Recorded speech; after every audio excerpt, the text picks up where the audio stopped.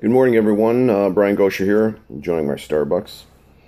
And um, I wanted to talk about um, things in life that we all go through, problems and blips on the screen.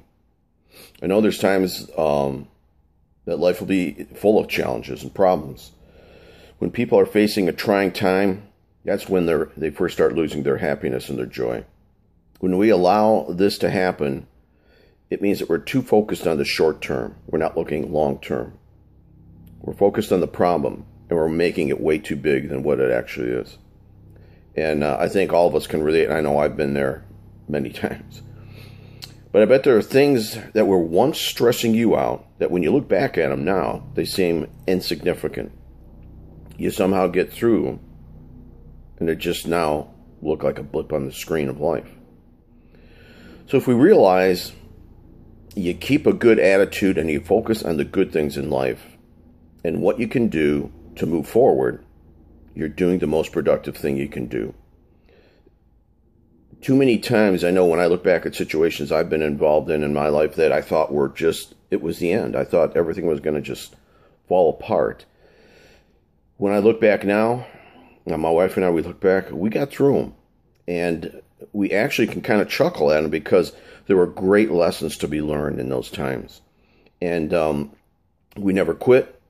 We uh, we kept going forward and we kept moving and doing the things that we needed to do that were productive and helping us get through our situation and get through the, the change that had to occur so we could go to the next place in our lives. So um, that's what I want to say to you to, today is don't quit. Whatever your situation is and how dire it looks, don't quit.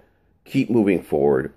Have that attitude that you're going to make it through this. It's just a short term. You're going to get through it. Be productive, constantly moving forward towards the goals and towards getting through this. And um, I guarantee you that in years to come, you'll look back and see, wow, it actually was a blessing because I learned so many great things through this um, circumstance.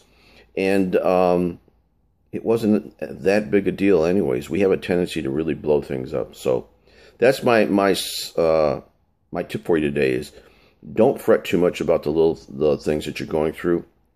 Keep being proactive. Keep moving forward to what you need to do uh, to constantly go towards your goals, and you'll get through this. You really will. So take that uh, little tip of advice. God bless you. Have a great day, and I'll talk to you again real soon. Bye bye.